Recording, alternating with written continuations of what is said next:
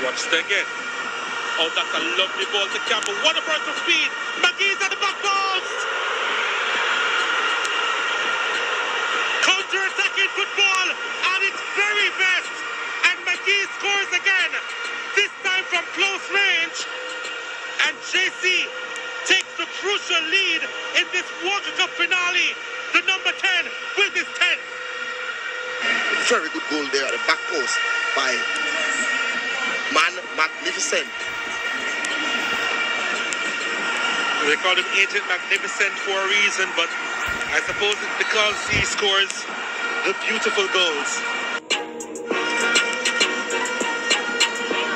Magee looking for a second. They're running away with it. Agent Magnificent denting KC's hopes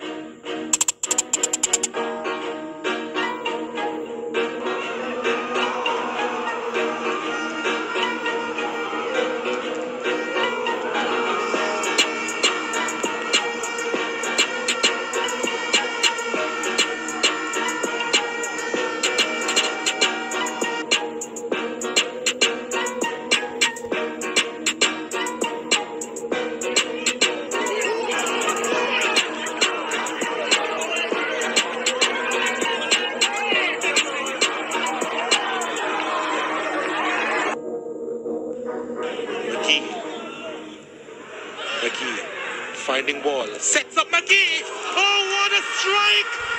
Sensational from JC's number 10. When you talk about special Donald, this, this boy is a special player. One one time pass to Wall, and Wall passed the ball as if he was a wall, and Magee expertly hit the ball in the back of the net.